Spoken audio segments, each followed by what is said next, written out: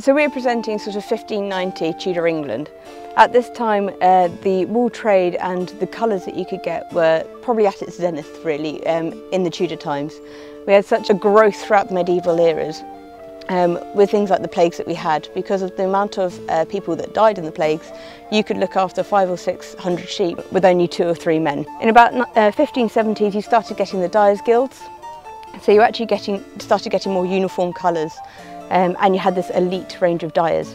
So on here is a chart from 1574, so these are all the colours that were available at the time. They use a multitude of things from plants to uh, lichens, so mosses and things from trees.